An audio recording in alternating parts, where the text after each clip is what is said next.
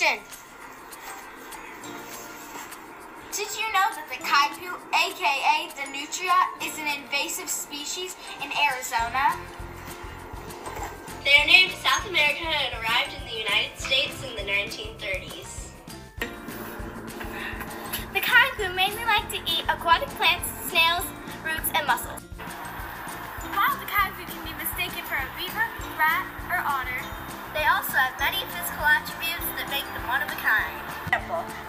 coypu's webbed feet, reddish-orange teeth, short limbs,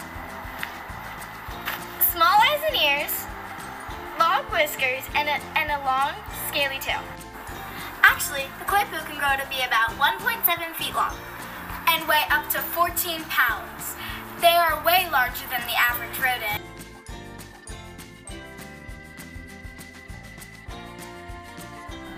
They also take most of the fresh water that humans get their water supply out of as well, such as rivers and lakes. What can you do to take a few koi poo? You could set traps inside or around your home. Do not adopt them as pets or let them loose into the wild. Don't have any overgrown shrubs for the coypu